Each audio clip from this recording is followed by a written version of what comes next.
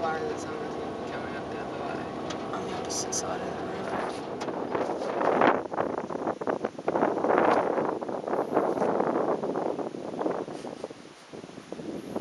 Track maintenance.